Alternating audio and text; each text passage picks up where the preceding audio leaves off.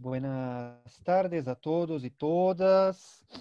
Bienvenidos y bienvenidas a nuestro segundo simposio virtual sobre aislamiento social y salud mental, organizado por el Centro de Investigación Clínica de Facultad de Psicología de la Universidad de la República en Uruguay.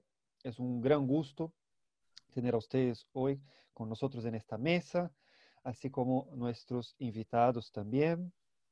Yo me presento, soy Daniel Camparo, director del centro. Voy a moderar eh, esta mesa en compañía también de mis colegas Joan Lombardi y Betsabe Butrón, que me van a auxiliar en la tarea de presentar a nuestros invitados. Eh, así que yo voy rápidamente presentarlas a ambas.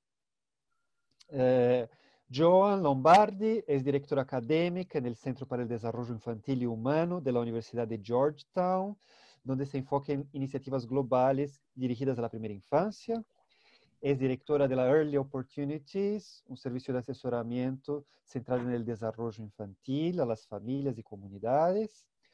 Ha desempeñado una serie de funciones en órganos estatales y ha también publicado una gran cantidad de, eh, de, libros sobre la primera infancia. Betsabe Butrón es pediatra y especialista de salud pública. hace más de 20 años trabaja con la salud de la madre, los niños y adolescentes y actualmente se desempeña como asesora regional en salud de la niñez de la Oficina Panamericana de la Salud y Oficina de la Organización Mundial de la Salud en la región de las Américas, donde ejerce la responsabilidad de la cooperación técnica en salud de la niñez. Antes de dar la palabra a ellas, em, les quería comentar que eh, la, presentación eh, de los colegas eh, norteamericanos va a ser en inglés. Yo haré la, la interpretación y, bueno, los colegas en Perú y van a hablar en español. Ustedes podrán uh, interactuar con ellos a través de la herramienta de preguntas y respuestas del, de Zoom. ¿no? Y tendremos entonces un espacio al final para que ellos puedan contestando, pero ustedes ya pueden ir haciendo preguntas durante la presentación. ¿Ok? Eh, te doy la palabra, Joan. Muchísimas gracias a todos por estar acá con nosotros. Me encanta. Buenas noches, buenos días a todos. Me llamo John Lombardi, soy miembro del equipo asesor nacional del estudio RAPID. RAPID que se llama Evaluación Rápida del Impacto de la Pandemia sobre el Desarrollo Infantil. Es un gran honor estar hoy aquí con ustedes. Ojalá que estuviéramos en Montevideo, que pude ver las caras, pero todos estamos viviendo con esta nueva realidad. Empiezo en español, pero la mayoría de la presentación es en inglés. Agradecemos a todos. So Phil, um, thank you again for being with us. And I'm sorry we can't do all of this in Spanish. Um, as I mentioned, I am the, the chair of the advisory committee for RAPID. This study is important for so many reasons, and I would like to just share two. First of all, John, uh, uh, I will translate it. Uh, entonces, eh, eh, John se presenta, agradece a todos. Ella, eh, como dijo, es, es la directora del equipo nacional de, de asesoramiento de la RAPID y ella va entonces a, ah, a presentar un um poco sobre la investigación. So there's two main reasons why I think this study is important. First of all, that it's focused on families with young children and it allows us to really hear their voices and to document what they're going on, what's going on in their lives through the pandemic. Entonces ella tiene dos buenos motivos para poder uh, participar y, y, dar importancia a esta investigación. La primera es porque trata de las familias que tienen uh, niños pequeños y uh, mediante la investigación es, ella es capaz de dar voz a estos sujetos. And, and second, we're testing a whole new way of doing research, which moves us towards collecting data directly from those most impacted and doing it in a timely fashion. Entonces, el segundo motivo es que ellos están probando una manera completamente novedosa de hacer investigación, recogiendo datos directamente de los participantes en una manera uh, inmediata. And so, Phil, if I could go to the next slide of the advisory committee. So, we have an advisory committee of researchers, policymakers, and people from various foundations. Entonces, ellos tienen acá un equipo asesor nacional que está compuesto por investigadores uh, y también personas que uh, elaboran y ejecutan políticas públicas. We meet every week to review the questions, to look at the data that came in that week, and to uh, review the uh, write up that we do every week on the data. Entonces ellos se reúnen semanalmente para poder revisar uh, la, los datos recogidos en este periodo y también para discutir los procedimientos y las estrategias de abordaje de este material. We're very lucky to have a wonderful team at the University of Oregon. Uh, the entire study is being led by Dr. Phil Fisher, and I'm going to turn it over to him now. Entonces ella dice que está, eh, tiene mucha suerte de tener un equipo con esta cualificación, que eh, los, aquellos que son miembros de la Universidad de, de Oregon en Estados Unidos y también son eh, liderados por el, el, doctor Philip Fisher, que es el responsable por la investigación, y ella va a pasarle la palabra a él ahora. Thank you very much uh, for that introduction. Uh, let me begin by thanking Daniel for organizing, thanking uh, Betsy and Magali for their involvement in helping to uh, get the information to everybody. And of course, thank you to Joan, who's been doing an amazing job as the chair of our national advisory team and is really an equal partner in this project, um, along with me and my team in Oregon. Entonces él comenta que, bueno, agradeciendo a, a, todos por la organización, agradeciendo a Magali y a Betsabe por eh, eh, también estar involucradas en este proyecto eh, y también a Joan por estar participando también como directora de ese comité asesor. The work of my center at the University of Oregon before the pandemic started has for a long time focused on how early experiences affect children's brain development and learning uh, across the lifespan. Entonces, él comenta que antes de la pandemia, el trabajo en su uh, centro de investigación estaba enfocado en las experiencias tempranas de los niños y su reflejo en el cerebro y las experiencias de aprendizaje también. when the pandemic began, we knew that the research that we'd been doing, which happens in, a, mostly in a laboratory, was going to stop. And we also knew that there was not information available about how households and families with young children were doing in the context of this pandemic because there had never been an experience like this before in our lifetimes.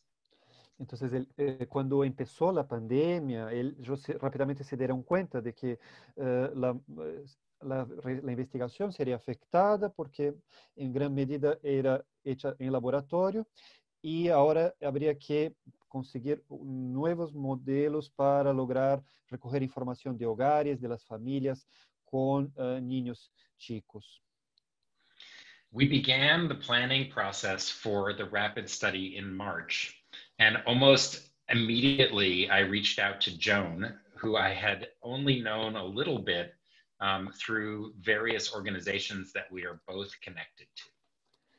Entonces el, la planificación empezó en marzo e inmediatamente él se contactó con John, John que, con quien él tenía algún poco contacto en realidad en función de las instituciones y de los contactos que ellos ya habían establecido. we knew that we needed to get started very quickly because things were changing so much from one week to the next. All businesses were closing, schools were shutting down, it was becoming difficult for people to travel. And we knew that if we didn't start right away, that we would miss very important information about what was happening with young children in the United States. Entonces, eh, ellos sabían que tendría que empezar muy rápidamente porque eh, la situación cambiaba a cada semana, los, eh, los comercios estaban cerrando, las escuelas también, las personas estaban imposibilitadas de viajar y ellos sabían que si no empezaban en el momento, no iban a poder contemplar la situación que estaban viviendo todas estas familias. Our team in Oregon very quickly organized the research protocol, the questions that we would be asking as part of this study, and figured out how to recruit families to participate, as well as how we would be gathering the, the information and analyzing the data. Entonces el equipo en Oregon uh, organizó un protocolo de la encuesta, los procedimientos del estudio, uh, el método de convocatoria, y ya proyectó cómo se recogerían los datos y, se, y estos serían analizados también. Joan was essential in organizing the advisory who we knew would be absolutely necessary in order to figure out what questions we wanted to continue to ask and how we would make use of that information so that it could be uh, used to help families in the best way possible and as quickly as possible. Entonces, Joan fue una persona esencial en el comité asesor, organizando las cuestiones que deberían ser uh, solicitadas, en el uso de la información y cómo ellos podrían utilizar esta información para apoyar a las familias en esta situación. I'm providing this information at the beginning of my presentation because in order for projects like this to be successful that start so quickly and are designed to have a social impact it's essential that the right team of, of people are involved not just researchers but also people who are advocates who are policymakers and who are funders who all come together to do this work Él, comenta entonces eh, esta información el comienzo de esta presentación, porque él considera que los estudios de esta naturaleza, para que sean exitosos, es importante eh, contar con el equipo correcto y adecuado de personas, ¿no? involucrando no apenas investigadores, sino que también uh, aquellos que hacen las políticas públicas, aquellos This slide shows you what we have been doing since Financia, investigaciones. Este slide muestra lo que ellos venían haciendo desde abril. So as you can see from the slide, every week, uh, starting the week of April 6th, uh, all the way through the end of July, we collected data from a, a thousand families approximately uh, with children aged five and under across the United States. Entonces, uh, Daniel, is it, it, it's probably okay. I'm sorry. Is it all right if I just, I, I think with a slide like this, I can just kind of uh, say what's on the slide because it's, it doesn't really need translation in addition. Is that all right? Okay. Uh, do, do you think that it shouldn't uh, need translation? Yeah, I think I think if you just say that, I mean, the the slide well if, if it's up maybe i'll just continue. That's probably easiest. So the the the, the families we've been following uh, are across all of the united states and they complete a survey that takes about 10 minutes um, and they do it on a computer or cell phone. Uh, it's in english or spanish and they receive payment for it. Entonces, eh, él va básicamente a leer lo que está escrito, ¿no? Eh, que la, la fueron recogidos desde abril uh, hasta fines de julio, durante todas las semanas, participaron mil familias, fue realizado durante todos los Estados Unidos, la encuesta dura 10 minutos para llenar y se puede hacer por computador o celular. There are three areas in which we've found uh, information that we think is very important to helping families manage during the pandemic. Entonces hay tres áreas donde ellos piensan que son importantes con relación a las familias durante la pandemia. The, the first one is that we found that there is a what we call a chain reaction of hardship that begins uh, with uh, families having difficulty paying for the basic needs of their children. And when we follow those families across time, we see that that leads to adults, parents having difficulty themselves and being very upset uh, and, and stressed. And that then leads to children's difficulties, children's emotional difficulties. Entonces el hallazgo fue una especie de reacción en cadena que empieza con una dificultad material y financiera por parte de la familia, que luego tiene implicaciones en uh, las condiciones emocionales de estos cuidadores y que eh, eh, se reflejan en dificultades emocionales en los propios niños. The second major finding is that the well-being of both parents and children rises and falls in specific locations in parallel with the rates of infection that we're seeing. Entonces la otra conclusión es que el bienestar de los niños eh, declina eh, y disminuye en paralelo con las tasas de infección en cada uno de los lugares. The third major finding is that the COVID-19 is amplifying or making bigger the gaps that have existed in the United States based on race and income and family structure for a long time. Those gaps are just getting even bigger. Entonces, el tercer eh, hallazgo es que la, la pandemia está haciendo con que las lagunas, las, las diferencias en, sociales que existían entre uh, familias con menores uh, de, raciales se profundizando momento. So, in terms of the first area that I mentioned, the chain reaction of hardship, when we started the survey, we asked people how they were doing before the pandemic began and then how they were doing, this was in early April, how they were doing since the pandemic started. Entonces, retomando la idea de la reacción en cadena, en el momento que ellos empezaron, ellos preguntaron cómo estaban uh, las, uh, las condiciones de estas familias antes de la pandemia y luego cuál fue el primer impacto de la misma en sus niveles de estrés. 68% of parents reported an increase in mental health difficulties and emotional distress. Entonces, 68% de las familias informaron un aumento de dificultades en la salud mental y los niveles de estrés. 48% reported a difficulty, an increase in financial difficulties that their family was experiencing. 48% mencionaron dificultades eh, económicas como el ingreso. And 34% reported delaying seeking health care uh, for health problems. Y 34% informaron una demora en buscar auxilio uh, en los sistemas de salud para cuestiones, eh, problemas de salud. One of the reasons that it's so important to collect survey data across time is because it's possible to see trends. Entonces, lo importante de colectar datos durante un periodo largo de tiempo es que es posible identificar algunas tendencias. Almost immediately, we began to see in our survey that lower income families, families with less money, were having a much more difficult time and that their difficulties were increasing across time. Entonces, el primer hallazgo es que inmediatamente la encuesta identificó que familias con menores ingresos empezaron a tener, tener mayores dificultades eh, durante la pandemia.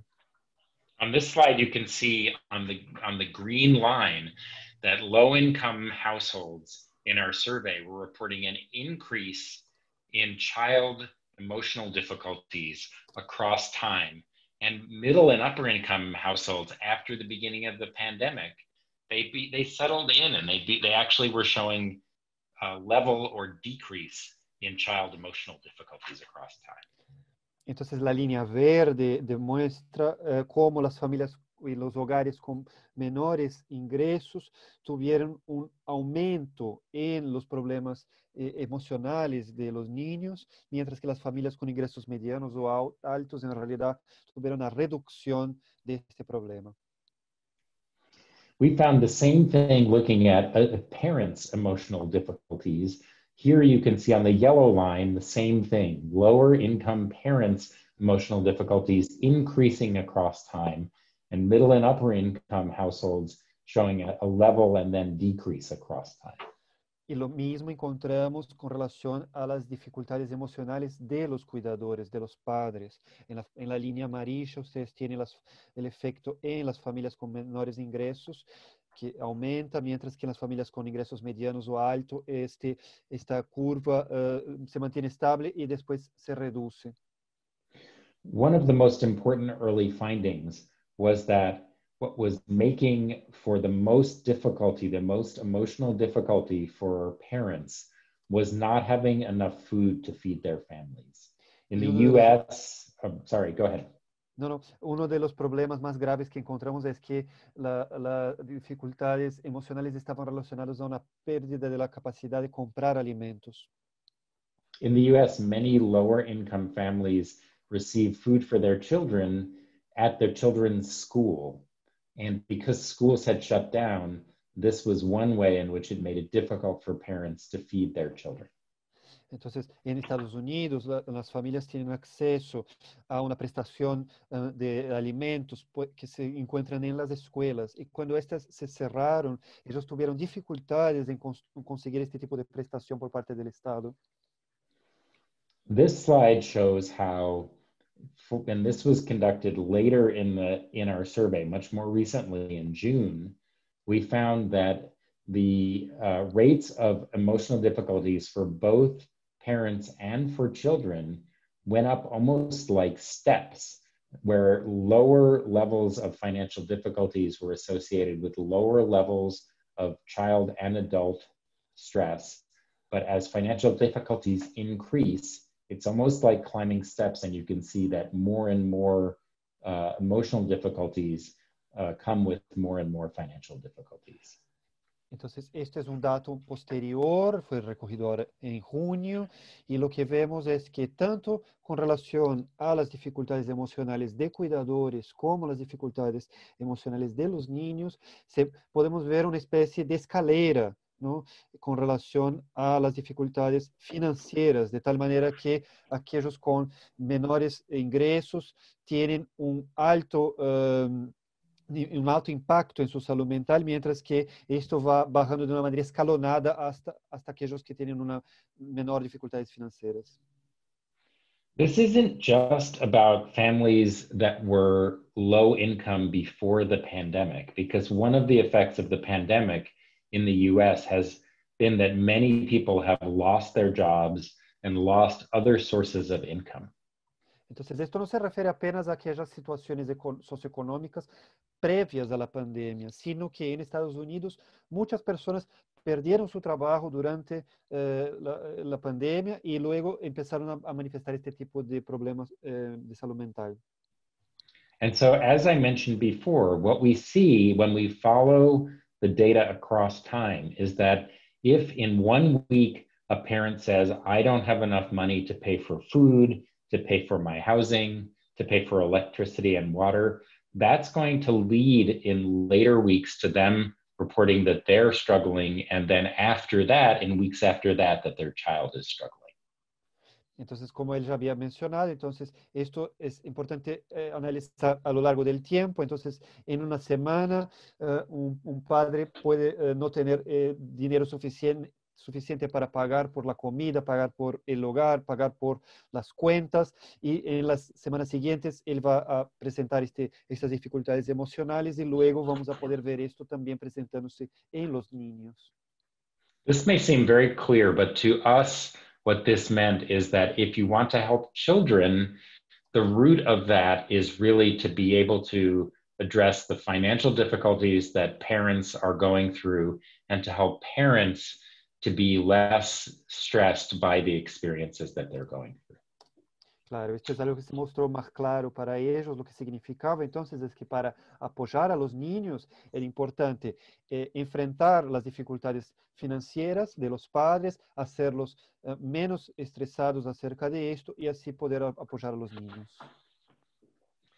We were somewhat surprised, although there's been a lot of other reporting on this in the US, that as of the middle of July, fully 20% of all families in our survey were reporting that they were having difficulty paying for food, for housing, or for their utilities. Ellos, se, fue muy sorprendente para ellos encontrar que en la mitad de julio 20% de las familias que participaban enfrentaban dificultades para pagar sus cuentas, la comida y el alquiler. After July, the, uh, much of the government, the national government's efforts to provide financial relief to families ended. And since that time, we've seen conditions getting much more difficult for many households with young children. Entonces, después de julio, uh, los, es, la, las políticas nacionales del gobierno en eh, reducir el impacto financiero terminaron y ahí ellos empezaron a ver estos efectos entonces en las condiciones financieras de estas familias. In August, as you can see from this slide, we asked families if they were worried in the next month about having enough money to buy food, enough money to pay for their rent, or if their uh, electricity or water was going to be turned off from not being paid. And 42% at that point said they were worried about that happening in the next month.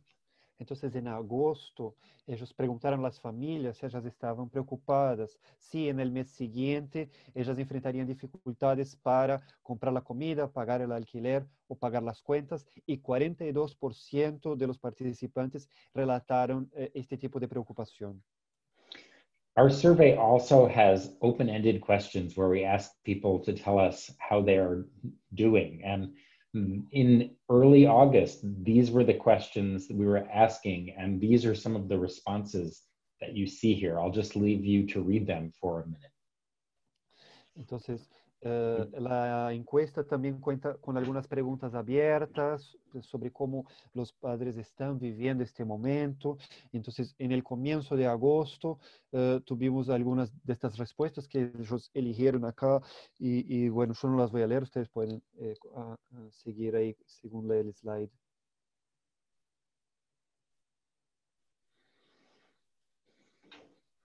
One bright spot in our data is that when families report that they have emotional support, people that they can rely on to help them with their emotions and their feelings, that it helps to uh, break these, this chain reaction of hardship that we have been seeing.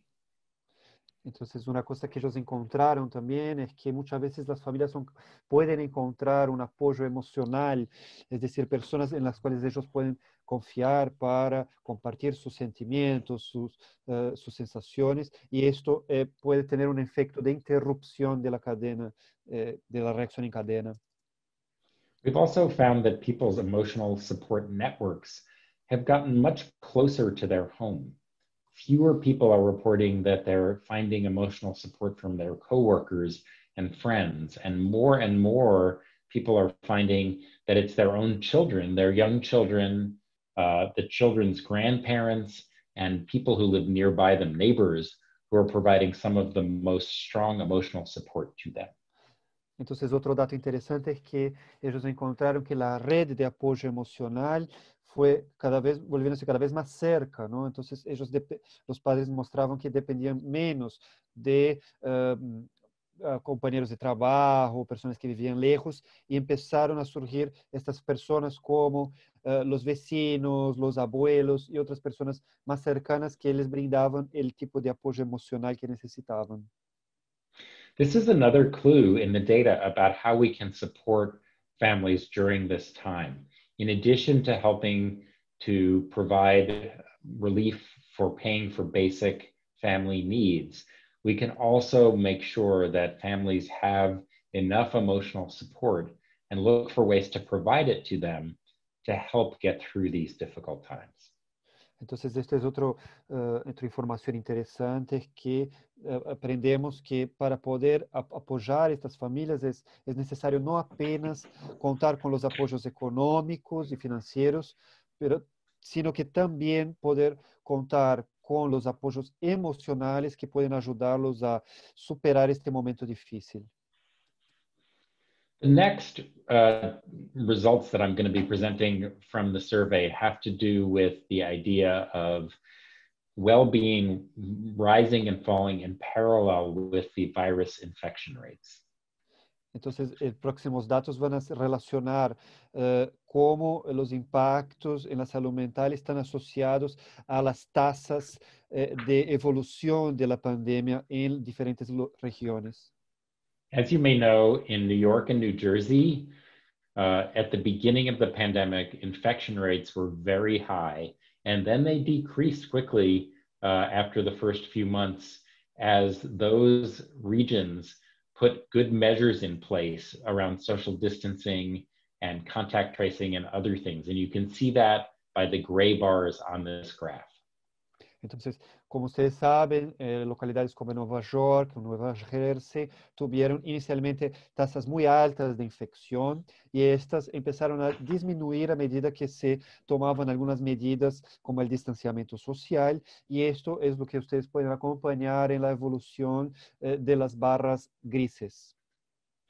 The yellow line here shows that in those places, as infection rates dropped over time, mental health difficulties and emotional distress also decreased over time, over time for, for parents. Entonces, en la línea amarilla, ustedes pueden acompañar que uh, las dificultades emocionales y el estrés emocional de estas familias también uh, disminuyen uh, en la misma relación. Arizona, Florida, and Texas were three states which had low infection rates to begin with and then had things increase quite a bit. And you can see that here on this slide uh, in the, the gray bars that are shown at the bottom. Entonces, lugares como Arizona, Florida y Texas, de inversamente, eh, eh, tuvieron una menor tasa de infección al principio y rápidamente esto empezó a empeorar y esto también podemos acompañar en las barras grises. And here you can see the emotional difficulties of adults, of parents uh, initially going down over time, but then beginning to increase and continuing to go up along with the infection rates in those states. Y lo mismo podemos ver en la barra, en la línea verde, las dificultades emocionales de estas familias disminuyen, pero empiezan a aumentar a medida que las tasas de infección aumentan también.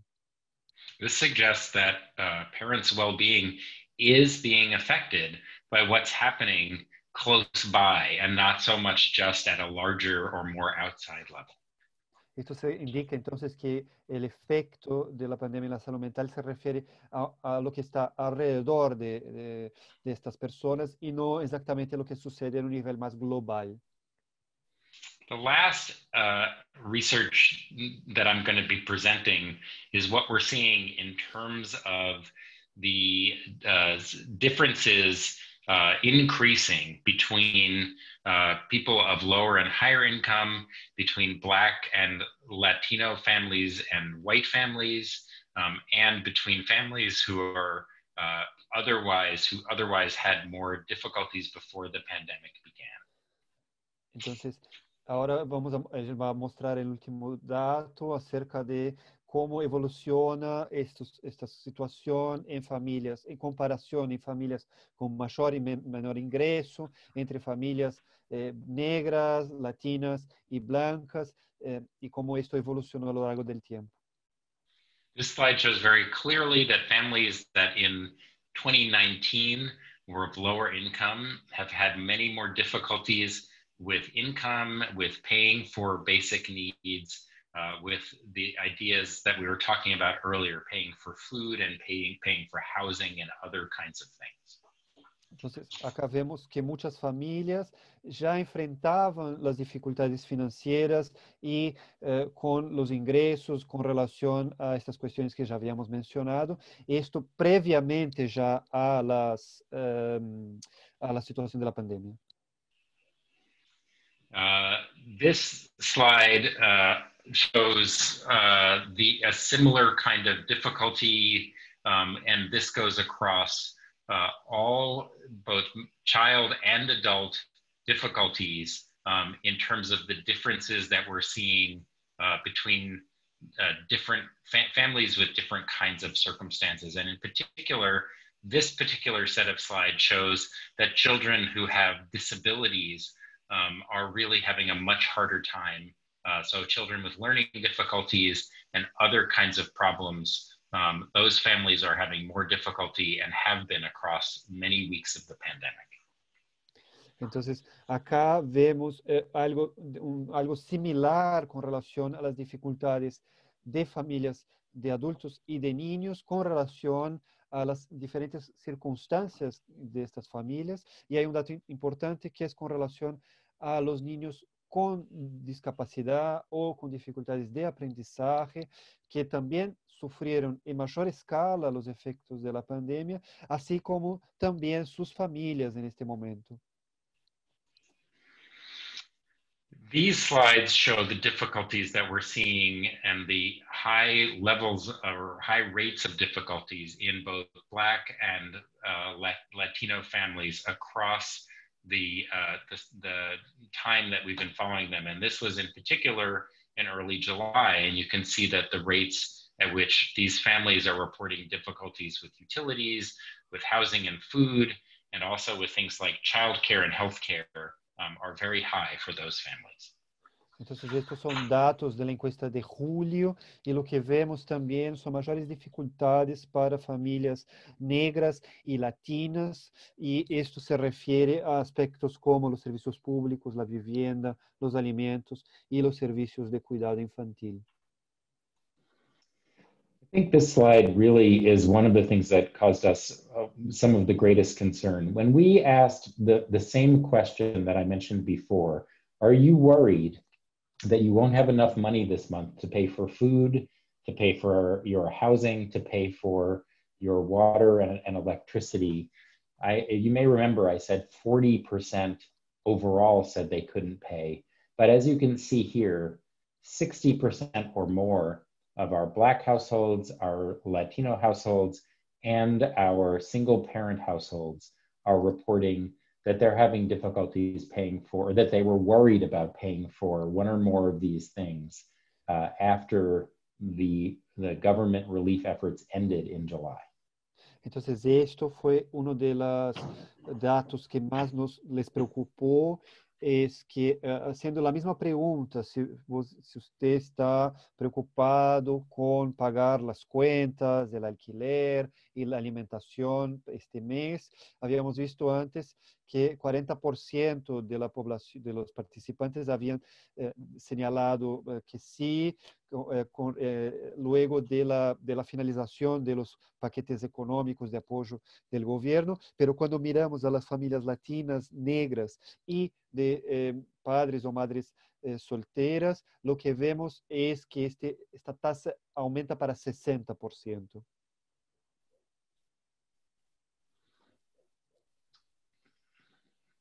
This slide pretty much shows the same information uh, about the differences between our overall sample and these specific groups in terms of the rates at which they're having difficulties uh, paying for these basic needs.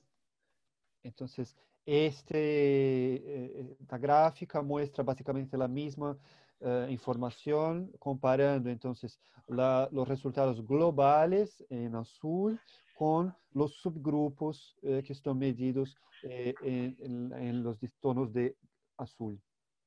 One thing that is you can see on this slide that's especially important is that the number and the, the portion of families that's saying that they're having difficulty paying for all three categories or worried about that for food, for utilities, and for housing is much greater than the number that are worried about just paying for two or for one of these.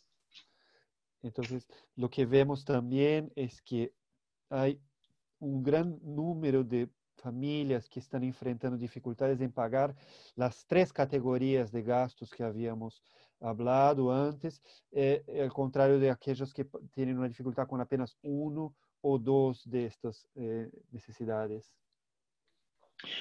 The last finding that I want to present is one of the most important that we've been looking at. And what it is, is a comparison of how middle and upper income uh, families are doing relative to lower income families, uh, and especially how middle and upper income families are doing that are Black and Latino families uh, since the pandemic began. Entonces, un último hallazgo que también es uno de los más importantes, acá hay una comparación entre cómo las familias con ingresos medianos y altos están enfrentando esta situación en comparación con las familias de raza negra, latinos y blancos.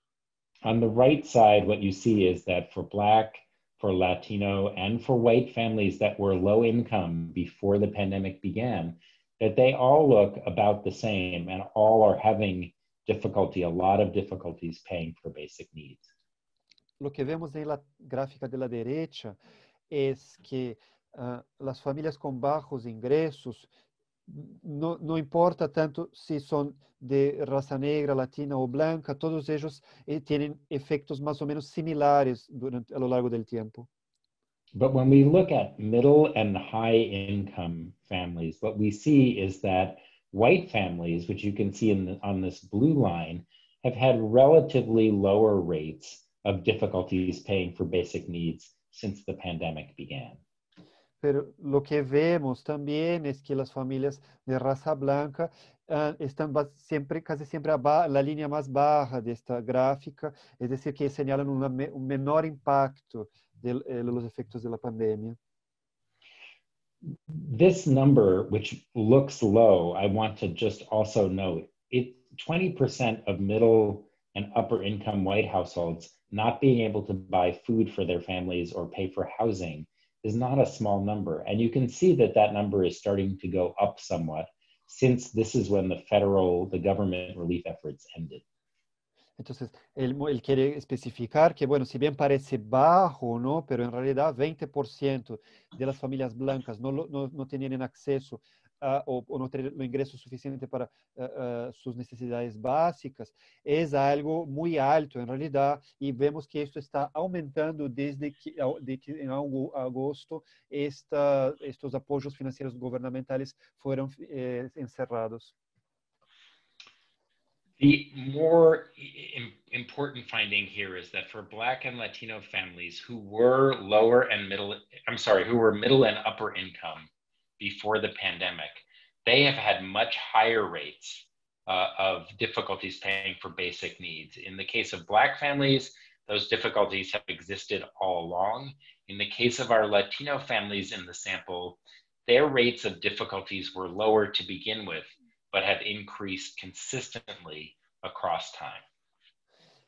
Quando miramos acá a gráfica à esquerda das famílias com ingressos medianos e elevados, o que vemos é que as famílias de raça negra e latinos sempre se mantiveram com mais dificuldades em comparação com as raças blancas e que os latinos, se bem tiveram uma menor eh, expressão dessas dificuldades no começo, isto empieza a aumentar ao longo do tempo.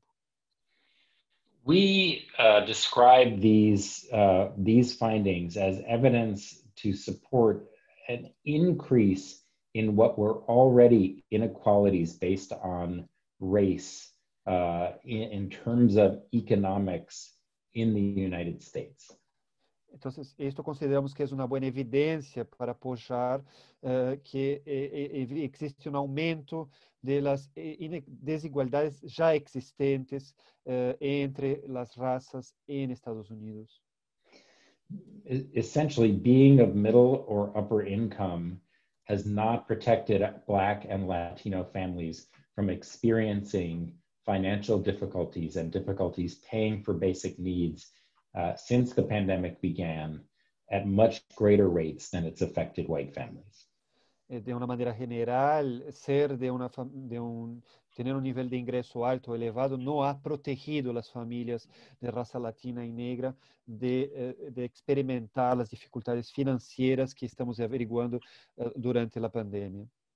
I want to finish by just saying, uh, getting back to the to the original research that I was talking about that we've been doing for many years. Entonces él quiere finalizar acá retomando uh, los datos de la investigación original que ya venía haciendo antes de la pandemia. We know that when children experience high levels of stress for ongoing periods of time and that their parents are not able to provide care as good care for them because they themselves are having difficulties with things like paying for basic needs that that leads to what people have referred to as toxic stress. Entonces, lo que habíamos sabíamos já é que niños que tienen, enfrentam níveis elevados de estresse por largos períodos e com padres que não podem eh, eh, brindarles eh, o cuidado adequado devido a dificuldades financeiras, apresentam este eh, de tóxico elevado. These kinds of toxic stressors uh, can affect many areas of well-being across the whole lifespan, including uh, children's ability to learn, uh, children's ability to, to have good uh, emotion, emotional control, um, but also um, many other kinds of health difficulties that we see uh, in individuals who had these kinds of experiences. E nosotros sabemos entonces que este estrés tóxico afecta muchas áreas del bienestar infantil a lo de toda la vida, ¿no? Tales como, por ejemplo, la habilidad de la lectura, del control emocional y las propias condiciones sanitarias a lo largo vida. In short, uh, really what, what we're saying is that the, the effects of, of the pandemic um, are not likely to go away quickly for children who are experiencing these kinds of toxic stress, but that we can expect to see the effects if we do nothing at this point for a long time. Entonces, lo que, dice, que ellos dicen es que los efectos de la pandemia probablemente no van a desaparecer rápidamente, sino que vamos a acompañarlos durante un buen tiempo después que todo esto se termine. It's very important also, though, to note that it isn't too late. Much of our research and others' research that was done before the pandemic suggests that children can recover from these kinds of experiences if both they and their parents or others who take care of them have the right kinds of supports in place. And that's why we're thinking that it's so important uh, for people to act quickly. Entonces, eh, ellos también quieren decir que ah, la investigación uh, había demostrado que no es demasiado tarde, porque eh, eh, eh aunque aquellos niños que habían eh, sufrido eh, altos niveles de estrés pueden recuperarse si ellos y sus padres reciben el apoyo adecuado y por eso es tan importante actuar rápidamente en esta situación. Thank you for listening and thank you to Daniel for translating and doing such a wonderful job. Bueno, agradecer a todos por ustedes por estar escuchando. Eh, bueno, thank you really much for the presentation, Dr. Philip. Ahora entonces eh, pasaría la palabra a la doctora Betsabe, que va a introducir entonces la segunda conferencia de esta noche. Sí, muchísimas gracias, eh, Daniel, y muchas gracias, Phil, Joan, por estar aquí. Um, thank you very much for this presentation. I learned a lot. You, you have presented new, new information. Uh, um, muchísimas gracias por la presentación, Phil, porque nos, no, uh, no, hay muchos datos ahí que no conocía, así que he aprendido mucho en esta presentación. Eh, bueno, co como decía Daniel, eh, yo trabajo en la OPS y tengo el gusto de presentarles a Magali. Magali trabaja en la Universidad de, em, en una universidad en Perú, es docente de la Universidad Pontificia Universidad Católica del Perú. Ella es psicóloga, máster en salud mental, em, es coordinadora del grupo de investigación de relaciones vinculares y desarrollo socioemocional, investigadora en psicología del desarrollo y consultora em, para varias instituciones en temas relacionados con el desarrollo infantil temprano.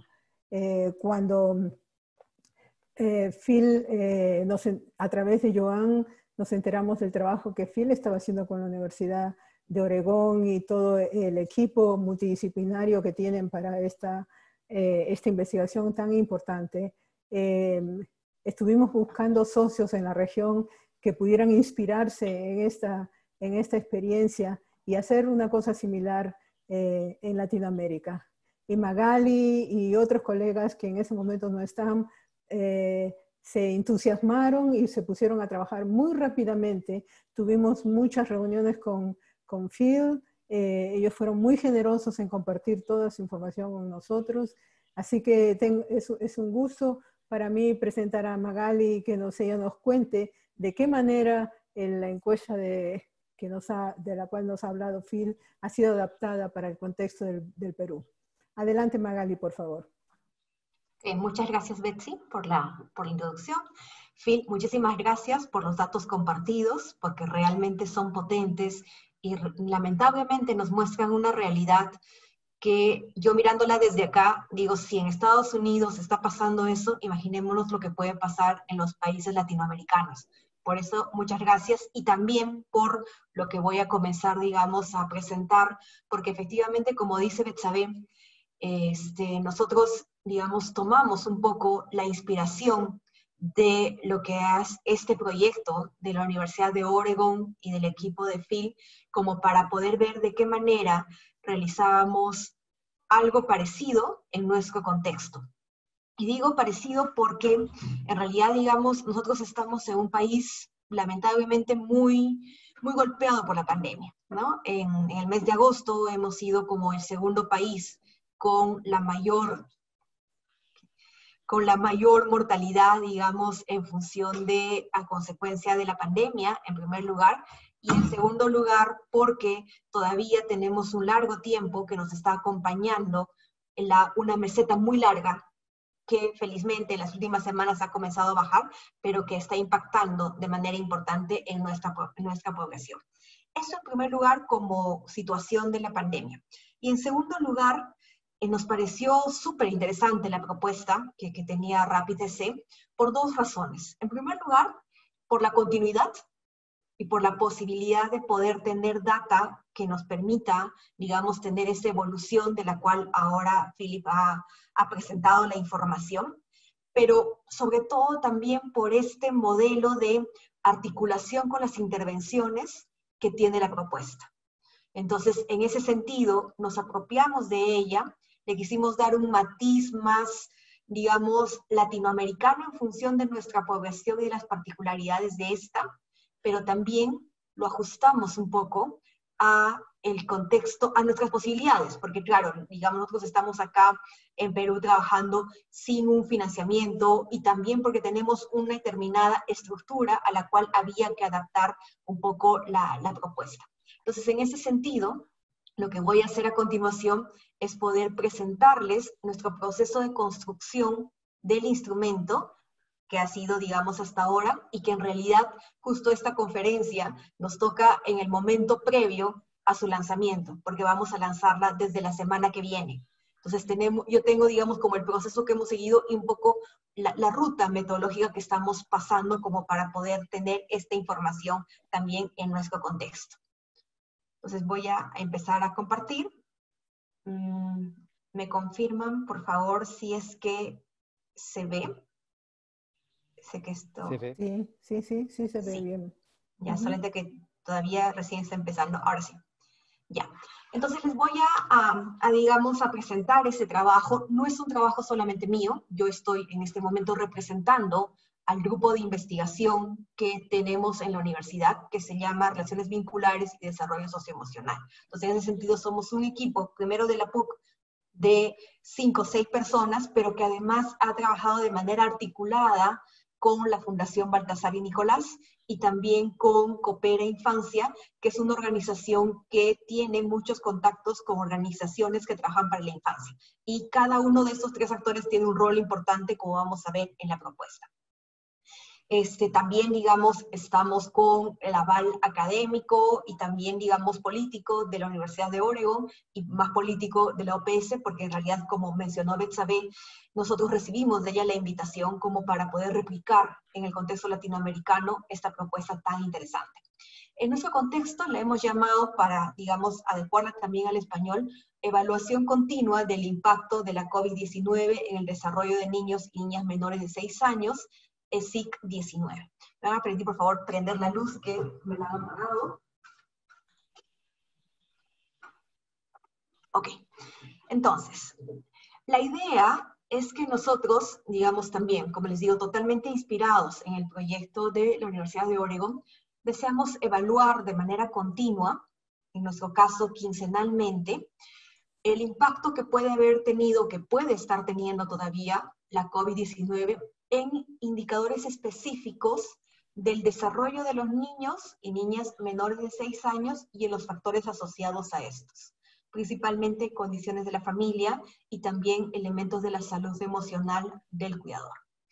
También buscamos tener, digamos, una medición de este impacto diferencial en aquellas familias que por alguna razón en nuestro contexto presenten alguna condición social que pueda ser considerada como una vulnerabilidad. ¿no?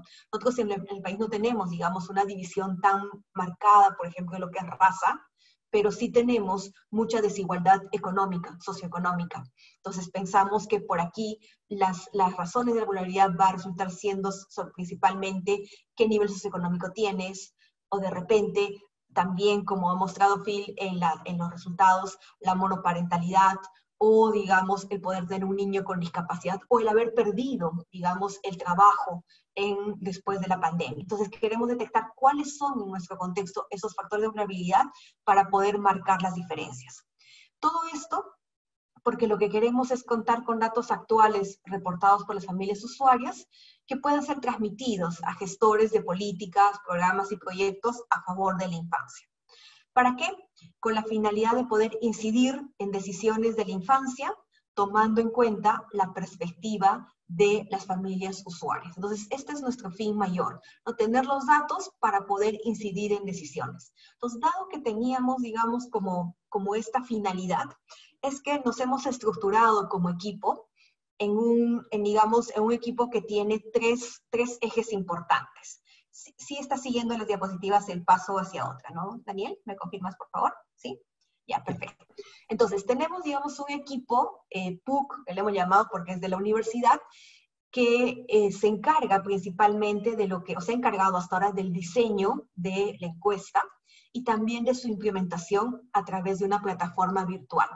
Nosotros lo vamos a hacer más, digamos, eh, a través de un link, la respuesta a través de un link y no necesariamente alojado en una plataforma por el acceso más, más digamos, por una mayor viabilidad del acceso de las familias que vamos a entrevistar.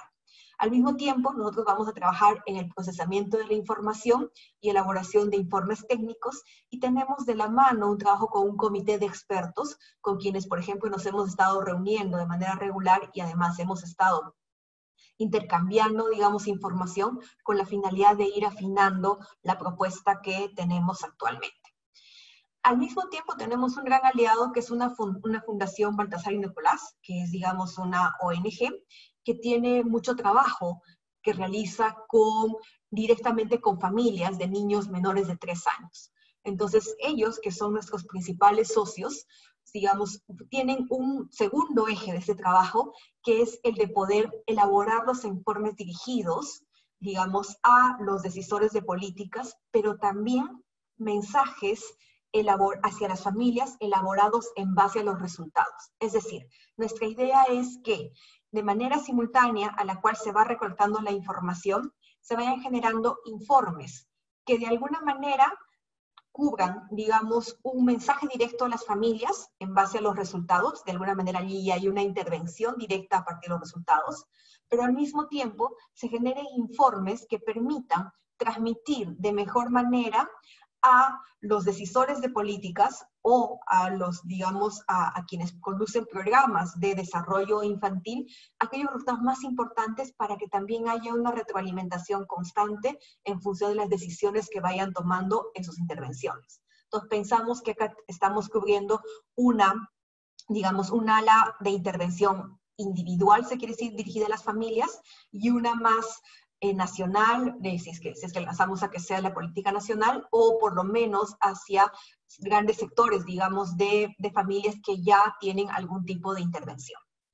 Al mismo tiempo tenemos la alianza también fuerte con la Red Cooper Infancia, que es una organización peruana que agrupa a diferentes, diferentes este, asociaciones civiles que trabajan en pro de la niñez. Entonces, con ellos lo que queremos trabajar es, digamos, que sea un espacio para convocar e incluir organizaciones para trabajar a familias y niños para que sean los participantes de la encuesta, pero al mismo tiempo va a ser ahí donde vamos a volcar mucho trabajo de incidencia para que puedan acercarse precisamente estos informes amigables a los decisores. Entonces, eh, hemos construido, digamos, esta alianza de tres sectores. Uno es el académico, que estamos, digamos, con, la cuestión más técnica de la encuesta. El otro es más el eje comunicacional, de la Fundación Baltasar Nicolás, que también trabaja con un comité de editores y comunicacionales. Y hay otro eje que es más como de incidencia, de tal manera que quisiéramos que la rueda de la generación de información continua también termine en la intervención en sí misma. Entonces, hemos echado a andar como estos tres ejes, como para que todo vaya de manera simultánea. Y esta es una de las cosas que a mí me pareció más interesante del proyecto, porque no se quedaba en el dato solamente como el dato académico que podemos estar acostumbrados los, los investigadores a generar, sino que además tenía que tener esas otras dos, dos digamos, soportes que permita que haya una mayor utilidad de la, de la información generada. Entonces, estos tres grupos también tienen sus respectivos comités de expertos que hemos tratado de seleccionar a personas que estén muy vinculadas con niñez, digamos, en el caso de los académicos, en el caso de los editores asociados a agencias de publicidad que de alguna manera le den el matiz más comunicacional, y en el lado del comité de incidencia, no solamente la red Coopera Infancia, sino también a sectores estatales, que en realidad viene por el Ministerio de Salud, el Ministerio de Desarrollo e Inclusión Social y el Ministerio de Educación, que son los tres ministerios más importantes que tienen que ver con lo que es niñez. El programa nacional Cuna Más, que también es como el programa fuerte del Estado de Centro de Atención Inicial a Niños menores de tres años. Entonces, tenemos, digamos, como estos grupos de, personas trabajando de manera conjunta desde que se nos, desde que se nos convocó y desde que se inició la, la idea.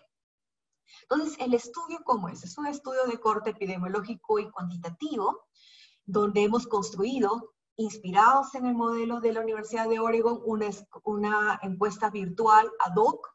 Eh, pensamos que además de, de, poder conseguir el financiamiento, nos gustaría tener por lo menos 12 versiones de la encuesta, lo cual nos tomaría más o menos entre 6 y 9 meses del mes de octubre en adelante como para poder generar data que nos permita ya dejar como un legado en este momento de pandemia, pero más allá de la pandemia, ¿no? Entonces la idea sería que quincenalmente podamos aplicar. La encuesta está pensada en que tenga una, una parte invariante, es decir, que se vaya repitiendo en los 12 para poder ver la evolución de esos indicadores, pero también la posibilidad de agregar, digamos, como módulos de, de, de este, módulos de constructos o de áreas que nosotros nos parece interesantes mapear en este contexto. Al mismo tiempo, y ajustándonos un poco a lo que hay, porque digamos tenemos que actuar con nuestros recursos, los cuidadores participantes van a ser de dos tipos.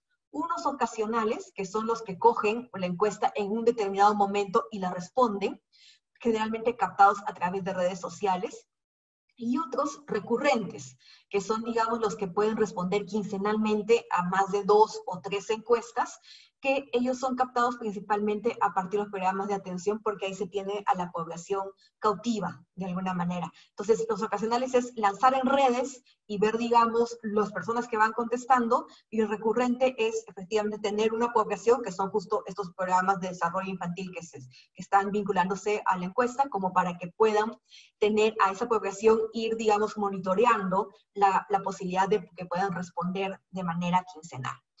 Entonces, esta división, digamos, de participantes que en los informes quincenales se juntan, digamos, todos como para poder ver el impacto evaluado en un único momento, haciendo un corte transversal, pero que cubre diferentes momentos de la pandemia después de este, nos da este resultado mientras que los participantes recurrentes nos permiten ver la evolución del impacto en un grupo en particular. O sea, tenemos ahí como una muestra de panel que estaríamos haciéndole el seguimiento. Y precisamente lo que sucede es que esta evolución del impacto a lo largo de diferentes momentos de la pandemia son las poblaciones de menores sectores socioeconómicos, porque son quienes justo participan en esos programas de desarrollo.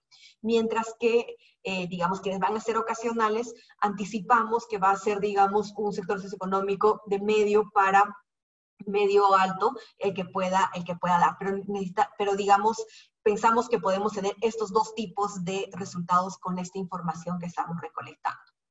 Entonces, ¿quiénes son los participantes? En realidad, los que, a los que estamos, digamos, participando es directamente hacia niños y niñas entre seis meses y seis años de edad, pero a través del reporte de los cuidadores.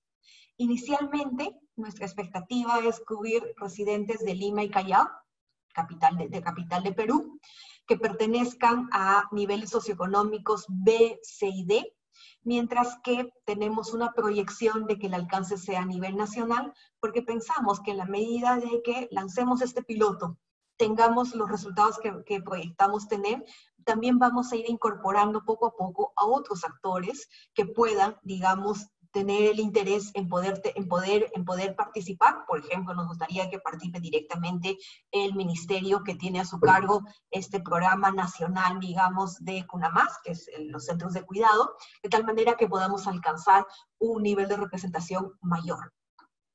El cuidador que participa es un adulto, que puede ser padre, madre, otro familiar o no familiar que se encuentre directamente involucrado en el cuidado de sus niños. ¿Cómo vamos a saber que está directamente involucrado? En realidad es solamente a partir del autorreporte, que es una de las primeras preguntas que se pone como una pregunta de inclusión en el estudio.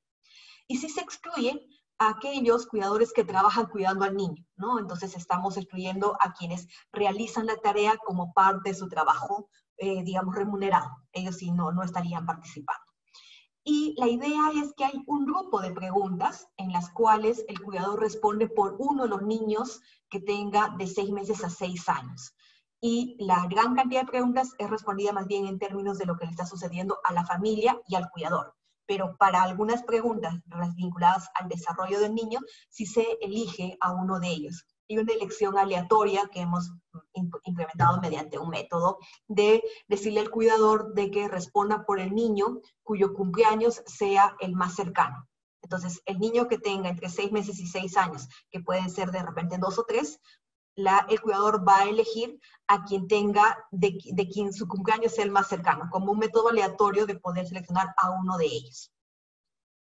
Obviamente, la participación de, de, digamos, de los cuidadores, sean los recurrentes o los ocasionales, es de manera voluntaria, hay un consentimiento informado previo, y nos ha tomado todo este tiempo, digamos, también el lograr, obviamente, la aprobación del Comité de Ética de la PUC, como para, digamos, también estar resguardando todas las consideraciones éticas que se requieren en relación a la conducción del estudio, a lo que puede ser la recolección de información y el procesamiento de la misma. Este, si bien es cierto, es voluntario, también estamos considerando la, de que hayan como ciertos incentivos, digamos, este, todavía no monetarios porque no tenemos, no tenemos el financiamiento, pero probablemente tiene que ver con otro tipo de incentivos, como por ejemplo hacer un taller en relación a elementos del desarrollo de los niños, o por ejemplo, de repente por ahí un sorteo para los que van a participar de redes. Hay una estrategia pensada como para lograr mayor cantidad de, participantes y mucho mejor aún la fidelización hacia la encuesta. Hemos definido un diseño muestral teniendo como estratos los niveles socioeconómicos B, C y D. ¿no?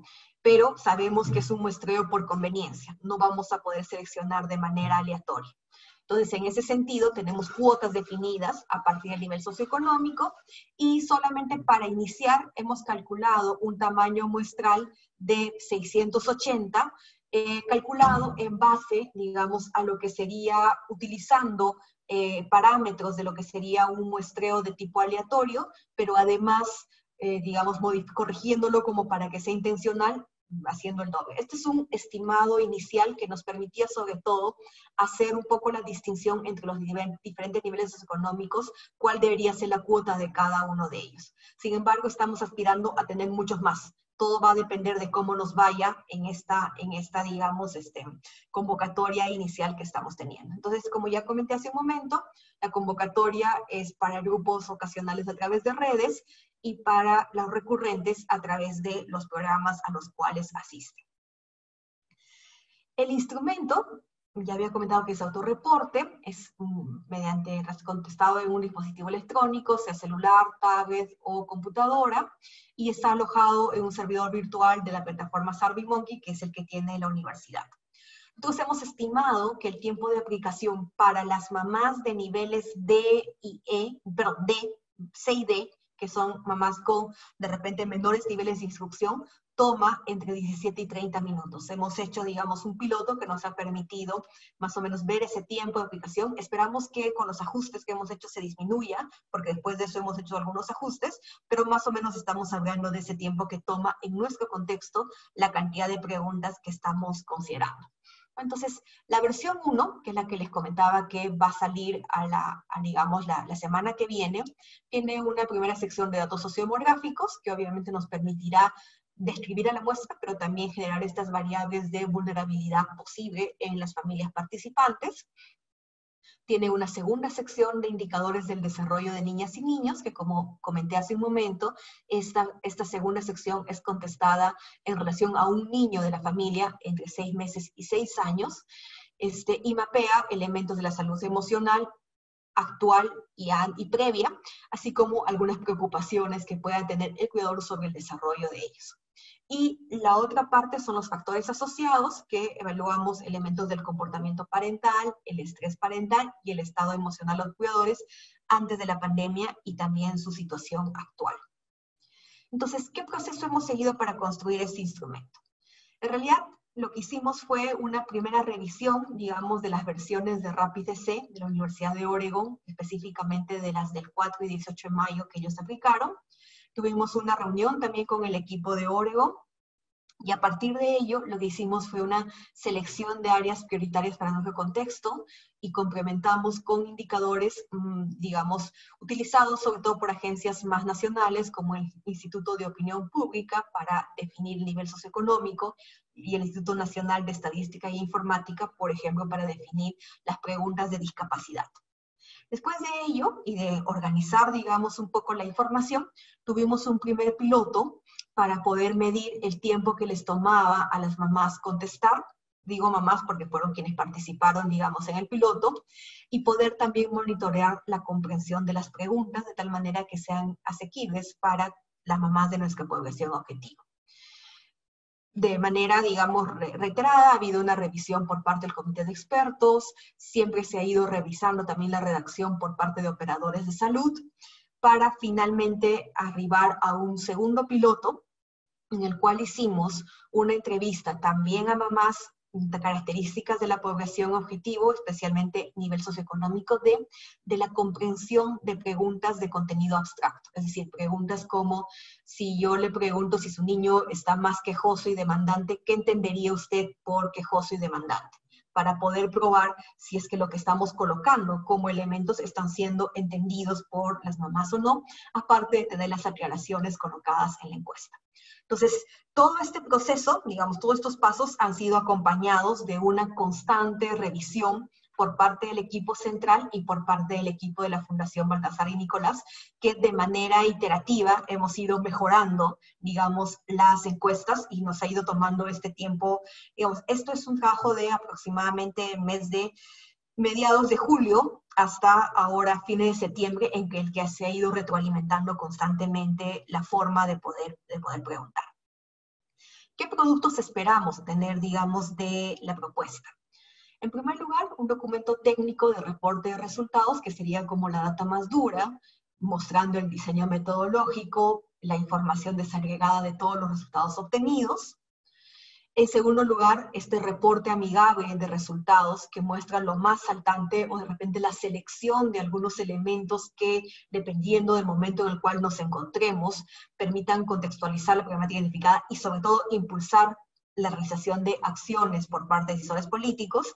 Y finalmente, como les decía, de manera inmediata a la generación de los resultados, va a haber un equipo que va a trabajar con la infografía, de, digamos, que va a tener como mensajes dirigidos a familias en base a los resultados obtenidos. ¿no? Mensajes clave, consejos prácticos, que lo que quieren es impulsar buenas prácticas en las familias frente a las consecuencias de la pandemia.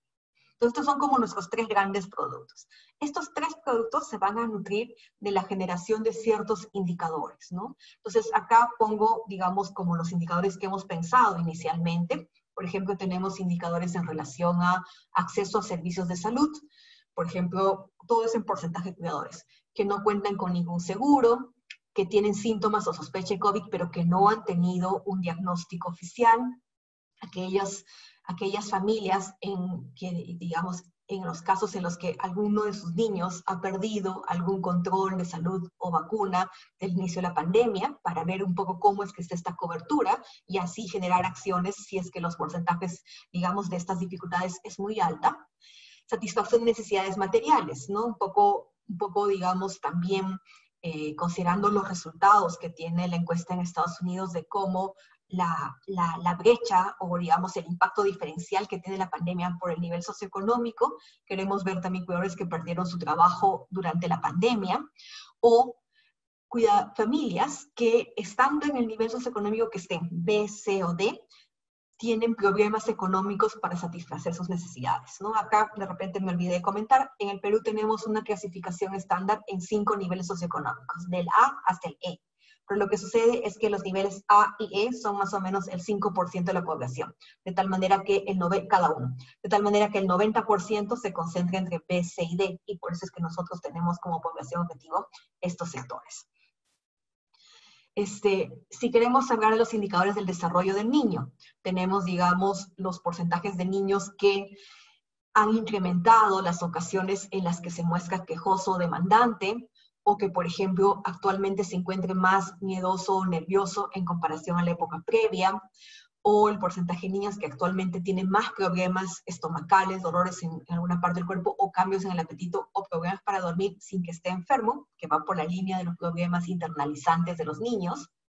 Tenemos también una pregunta de si es que hay en los cuidadores alguna preocupación, que esté muy preocupado por algún aspecto del aprendizaje o desarrollo o por algún aspecto del comportamiento. Acá también hay una pregunta abierta que nos permite identificar cuáles son esas dificultades, pero no está comunicador, pero va a la parte cualitativa.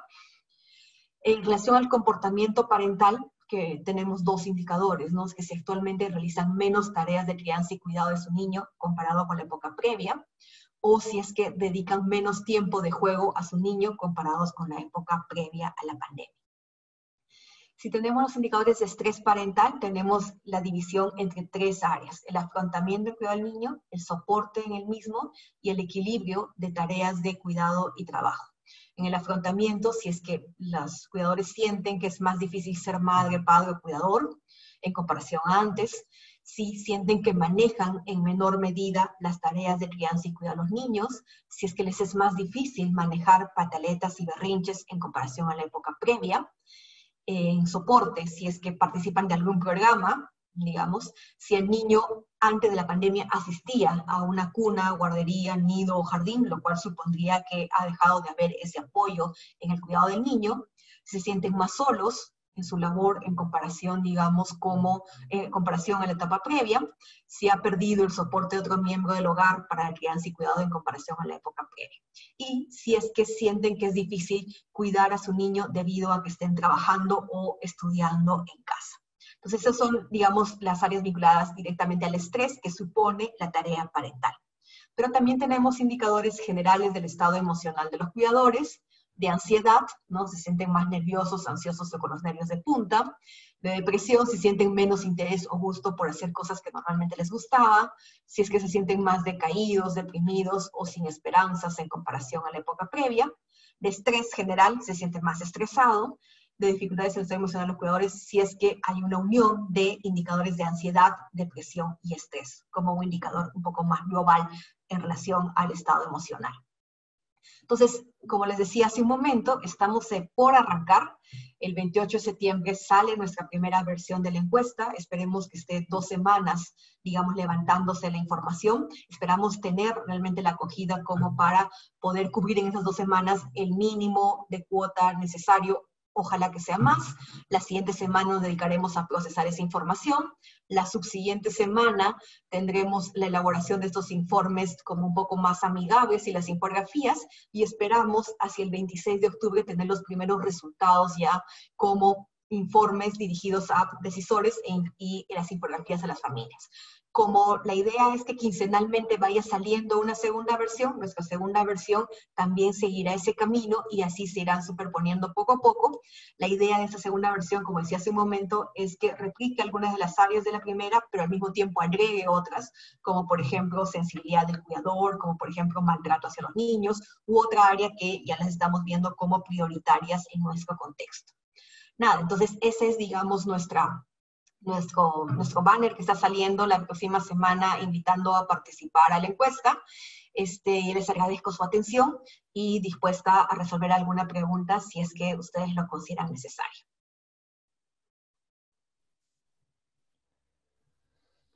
Eh, muchísimas gracias, Magali. Muchísimas gracias, eh, Magali, perdón, Betsa B, Joan, por las presentaciones de ustedes.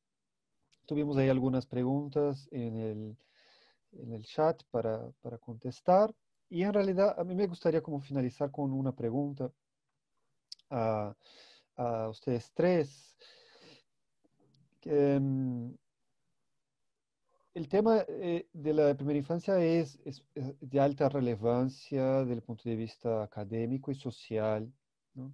Y me parece muy interesante la manera como eh, el comité asesor eh, articula já com o sector de políticas públicas. Não? Então, quisiera perguntar, tanto para Joan, eh, Philip, eh, quais são as expectativas que esta investigação eh, produzca em la, las políticas públicas en Estados Unidos. E, e Magali e Betsabe também se podem eh, imagino que ahora es un poco temprano, ¿no? Antes de empezar, pero ya, ¿cuáles son la, la, ¿cuál es la idea o cuáles son las estrategias que ustedes imaginan ya para tomar para esta finalidad? So for Phil, uh, the, the, question is what impact we've had on uh, public policy. We have seen a lot of media coverage of the work that we have been doing. Uh, and so we've been able to uh, very clearly have a lot of people uh, understand what's going on with families, with young children in this country. Entonces él comenta que eh, ellos tuvieron rápidamente una gran cobertura de la media para, para, acerca de la investigación, así que rápidamente tuvieron una gran difusión de, esta, de, esta, de estos resultados eh, a nivel eh, nacional. So we've, we've also had, oh, go ahead, John. We've, we've, I think we've built public awareness about the impact. You know, how much you affect policy is hard to judge. We have done briefings directly with policymakers. Mm-hmm. We're hoping that it has an impact. Yeah, I agree. Ella, ellos dicen que tu, tuvieron un impacto en la conciencia pública acerca del problema. ¿no? ¿Cuál es el impacto en la política pública? Es difícil de medir, pero uh, bueno, esto es algo que, que seguramente po podremos acompañar ahí en la secuencia. I go ahead, Jen. Um, you know, we, this is, a, as you know, an election year in the United States, so it's very hard to cut through the media. Um, we, we've actually been pretty successful at that, given how difficult it is right now. I don't know if you want to add, Phil. Eh, eh, por ser un, un, momento de elecciones en Estados Unidos, también es difícil ingresar en la pauta editorial de la, de la media, ¿no? Entonces, ellos lograron esto y esto fue, fue un gran logro de la, de la investigación, del equipo de investigación. I feel like the impact is is going to take a long time to continue to build. I think we started with just posting what we were finding on Medium, and now that's been amplified by all of the news coverage that we've gotten. And next, I think over time, we're hoping that the awareness that Joan mentioned will lead to people actually making changes to support families. Entonces, eh, para ellos el impacto va, a llevar mucho tiempo, ¿no? Y lo importante es que ellos pudieron uh, difundir eh, eh, sus hallazgos en la media y esto ha sido amplificado entonces por esta cobertura, pero seguramente va a llevar un tiempo para que esta conciencia del pro problema se convierta en algún tipo de cambio en las políticas.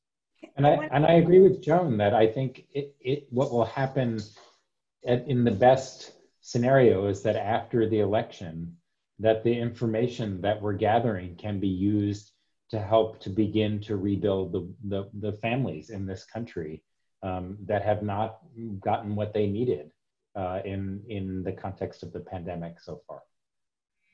Entonces, la expectativa es que eh, eh, la investigación pueda apoyar la tomada de decisiones para el gobierno entrante, ¿no? Y que va a poder ahí tomar decisiones políticas para abarcar este problema relacionado a la pandemia y sus efectos en la población. Uh, you know, I'd, I'd add one final thing, and what's unique here is that it's the impact on families with young children. And, and we haven't been able to to raise the public awareness about young children. That's what makes this so unique. Lo, lo singular que señala Joan de esta investigación es que se trata del impacto en familias con niños pequeños. Y esto ha sido una, una muy importante para poder traer ¿no? a, a, a la discusión eh, estos sujetos ¿no? de, los, de los niños pequeños de la primera infancia.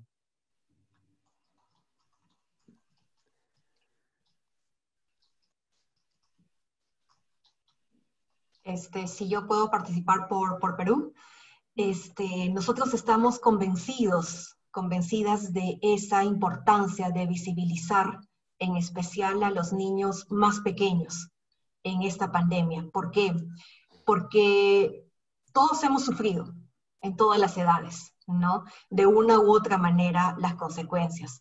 Pero creo que lo que está pasando con la primera infancia es que está totalmente invisibilizada, porque simplemente lo que se ha hecho es guardarlos, por así decirlo, en la casa y, digamos, privarlos de todo lo que ellos necesitan, sobre todo en estos cinco primeros años, para todo el desarrollo que estamos teniendo, que, que tienen los niños, perdón. Entonces, si me pongo a pensar, por ejemplo, en los niños que están aprendiendo a caminar en este momento, lo que tienen es una gran restricción del espacio en el cual lo pueden hacer los niños que están empezando a hablar, no, se puede, no pueden verse expuestos como a diferentes personas que en condiciones normales haría que, el haría que el desarrollo de la comunicación se dispare.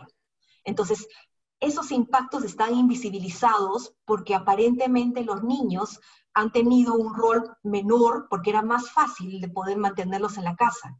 Yo creo, y digamos de ahí viene la apuesta también por este, por este proyecto, que eh, los datos visibilizan mucho y pueden dar una evidencia de algo que no está siendo evidente, valga la redundancia, pero que finalmente pueda construir una práctica basada en evidencias. ¿no? En Perú, digamos, este, estamos en un movimiento interesante a favor de la infancia, pero todavía estamos en los inicios del mismo. Entonces necesitamos ahora dotar de la mayor cantidad de evidencia posible para que todo lo que se haga tenga, una, buen, tenga un buen camino y no sea simplemente mi intuición aquello que, que haga que haya una intervención, sino que sea realmente una evidencia que permita, además, decir, comenzamos así y terminamos así. Y sabemos que esto está muy filtrado por cuestiones de la política general. Nosotros también en el país estamos viendo una gran crisis política.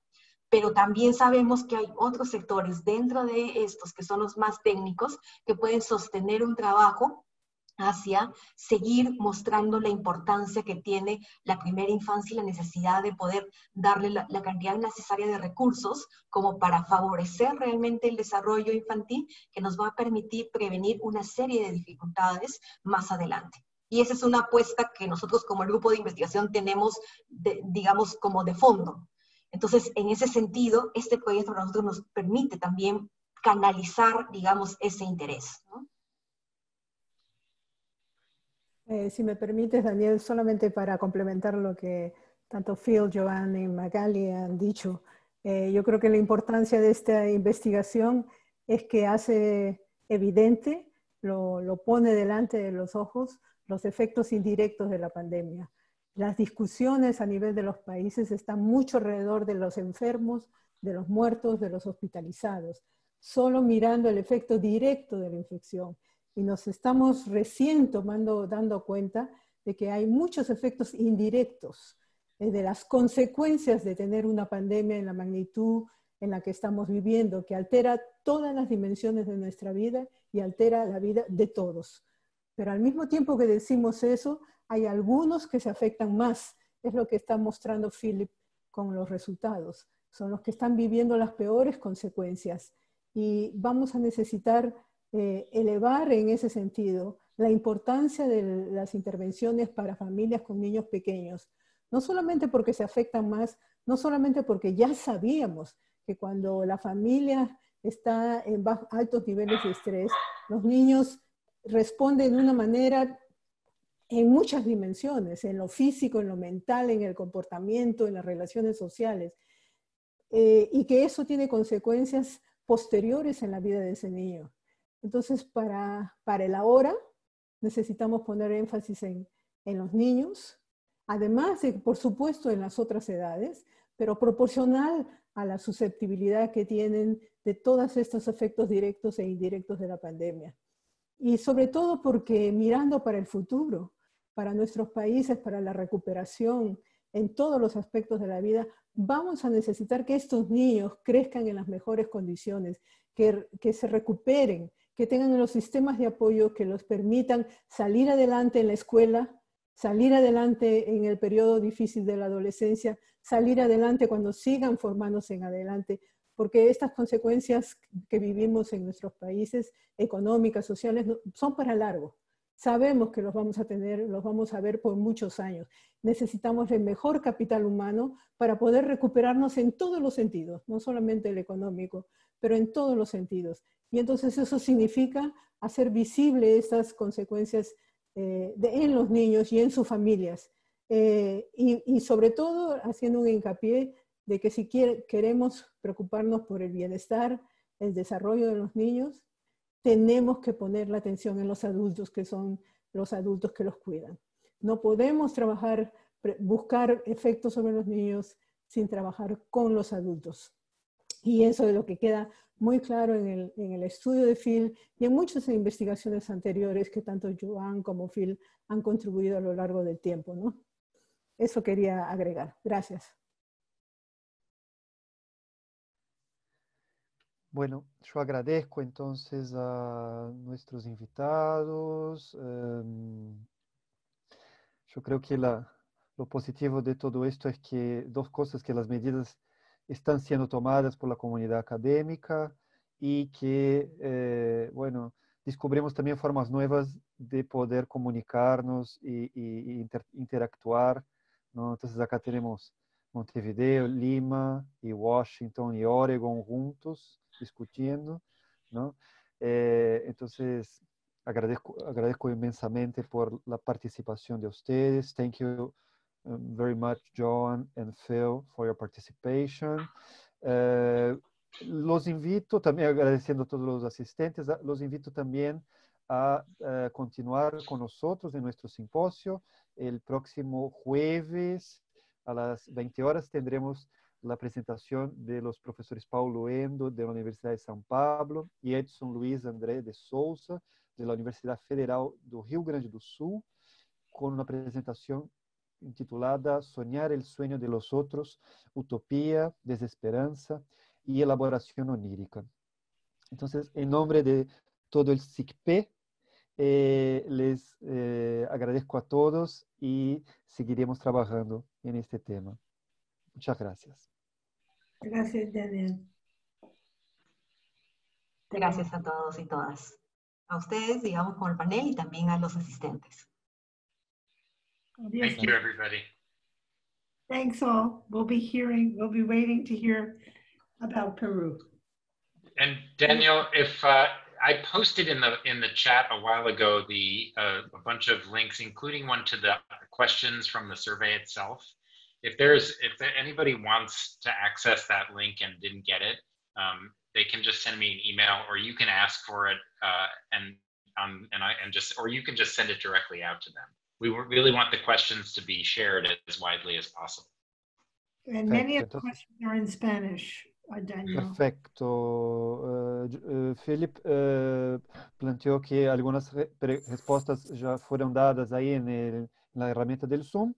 Uh, y algunos enlaces también fueron dejados para que ustedes puedan tomar conocimiento de la investigación y de las preguntas. Algunas preguntas están en español, dijo Joan, y para ellos es de mayor interés que ustedes conozcan este material también. Seguramente podríamos también eh, difundir a través del centro SICPET también. We'll try to uh, keep it at the SICPET webpage, Phil, if you wish.